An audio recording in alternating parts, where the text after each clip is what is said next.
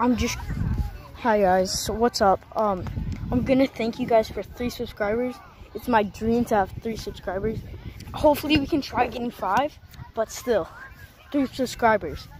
Like, that's a lot when you just made one video. And I already have 104 views on that one video.